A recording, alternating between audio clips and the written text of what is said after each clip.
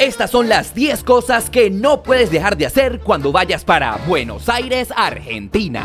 Visitar el barrio de San Telmo y tomarte una foto con una falda. Prepararte un buen mate y compartirlo con tus amigos. Recorrer el cementerio de Recoleta y buscar los mausoleos más famosos. Pasar por el jardín japonés y conectarte con su increíble vibra. Caminar por la calle Corrientes y ver una obra en cualquiera de sus impresionantes teatros. Visitar el obelisco en el mero centro de la avenida 9 de Julio, la más ancha de la ciudad llegarte hasta la Plaza de Mayo y tomarte una foto en la Casa Rosada, sede de la presidencia. Y al otro extremo de esa avenida, conocer el impresionante edificio del Congreso de la Nación Argentina. Ir al barrio de La Boca y recorrer Caminito para sentir la pasión del tango. Y al terminar el día, visitar Puerto Madero, atravesar el impresionante Puente de la Mujer y ver cómo se ilumina durante la noche.